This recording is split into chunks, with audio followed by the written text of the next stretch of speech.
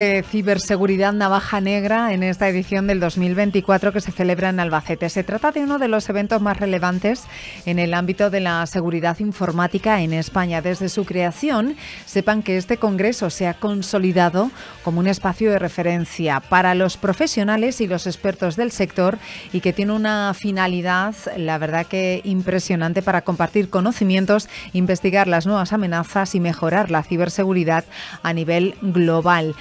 Participan, pues mira, ponentes de la talla internacional con temas eh, sobre las nuevas tendencias de los ciberataques tan de moda últimamente. El presidente de la Asociación Navaja Negra, organizadores de este congreso, es Rubén Rodena. Rubén, ¿qué tal? Muy buenas.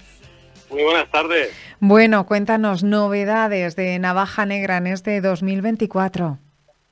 Pues la primera novedad vino de parte de la gente. Vendimos todas las 800 entradas el primer día eso quiere decir que hay unas ganas tremendas de navaja negra. Y este año además vamos a tener una parte pública, como solemos hacer todos los años, en la cual la gente que se haya quedado sin entrada puede venir y acercarse a, la universidad, donde tenemos distintas eh, distintas charlas disponibles para, para gente neófita y gente que está empezando, y un poco también quizás intermedia. Temas centrales de este congreso en esta edición. Sobre todo inteligencia artificial. Yo creo que la inteligencia artificial ha venido para quedarse, eh, ha roto el paradigma que teníamos de la ciberseguridad y gran parte de las conferencias actuales van en, esa dirección, a explicarnos qué tecnologías están utilizando los delincuentes para eh, utilizando la IA para hackearnos, como eh, también la gran Google con su sistema de recaptcha, este sistema que tiene de fotografías para identificar que somos humanos, de marca el coche, marca el semáforo, ya está totalmente desfasado y ha sido hackeado. Lo van a mostrar en la, baja negra el sábado con un 98% de probabilidad de éxito. O sea que hasta la gran Google está teniendo problemas para adaptarse a los tiempos de la inteligencia artificial. Em, impresionante todo esto que parece a veces que nos escapa de las manos, ¿verdad, Rubén? Es como que ha evolucionado, de repente ha impactado en la sociedad global de una forma impresionante, pasos de gigante. Totalmente. Eh, lo importante y la, lo más eh, quizás referente del Congreso es que llegue y cale en la sociedad las técnicas que están utilizando los delincuentes la inteligencia artificial, los cambios que se están aplicando en los phishing que antes eran antiguos, el, tipo, el típico phishing de la DGT o el típico phishing de correos, está cambiando ahora por unos chats de WhatsApp, Telegram, muchísimo más avanzados en los que se hacen pasar por un familiar que necesita dinero y todo esto en un tiempo real, donde además pueden generar fotografías, pueden obtener información de redes sociales nuestras pueden integrar esa información y utilizarla como nombres de personas, de mascotas, direcciones, etcétera.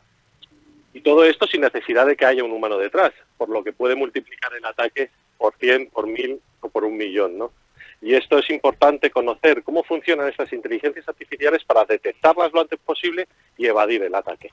¿Cuál es el perfil de los asistentes a navaja negra? Porque me imagino que estará el usuario normal o el usuario medio, como puedo ser yo, el usuario del ordenador a diario por el trabajo o por placer, pero ah, me imagino que también vienen expertos, ¿no? No solo como ponentes, sino también a, a informarse.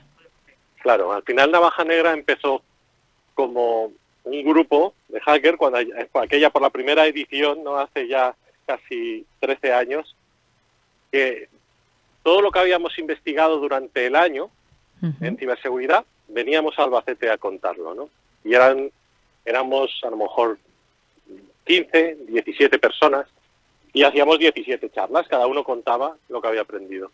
Ahora es exactamente igual, solamente que hemos aumentado, hemos hecho público ese, ese congreso y viene gente de lo más variopinto, desde estudiantes, eh, expertos en medicina, vienen también expertos en ciberseguridad, grandes empresas, tienen a gente como CrowdStrike, como Arlogic, empresas punteras en ciberseguridad, pero sin embargo también están las empresas eh, institucionales, ¿no? como INCIBE, Guardia Civil, etcétera.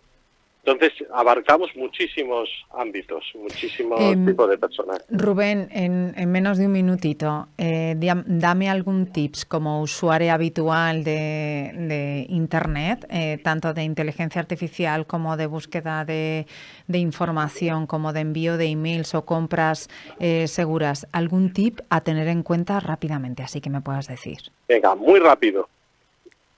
HTTPS no es sinónimo de confianza. Que eso nos lo estaban diciendo los cuerpos y fuerzas de seguridad del Estado durante mucho tiempo y es mentira. HTTPS no es sinónimo de seguridad, solamente de que la comunicación va cerrada. Y segundo, no ninguna entidad, ni gubernamental, ni entidad, ni empresa profesional con un nivel se nos va, nos va a contactar mediante el típico SMS de la DGT de correos, es mejor ignorarlo que hacerle caso, porque todo este tipo de información siempre va a ir más dirigida por el email, si la DGT quiere hacernos algún tipo de comunicación, será por correos, si correos quiere comunicarnos algún tipo de información, va a ser también mediante carta o mediante email y nunca mediante SMS. Si nos escribe cualquier número desconocido de nuestra agenda, sospecha. Pues mm, tres tips a tener en cuenta, pero vamos, segurísimo. Oye, Rubén, eh, buen fin de semana y seguro que será todo un éxito, como ya lo está siendo, más de 800 personas en este Congreso de Navaja Negra y creciendo y subiendo. Rubén Rodenas, un abrazo, gracias. Un abrazo, muchísimas gracias a vosotros.